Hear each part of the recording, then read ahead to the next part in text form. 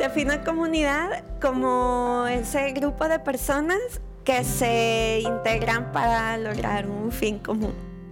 A partir de la implementación del huerto comunitario, que es en el 2011, hemos tenido eh, más convivencia con los vecinos, con los niños y un lugar también para las personas mayores para que tengan alguna actividad.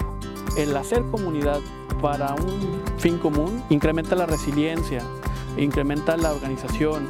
Entonces también vemos cómo tal vez esta comunidad podría unirse para otro tema eh, gracias a que ya se practicaron con el tema de los huertos.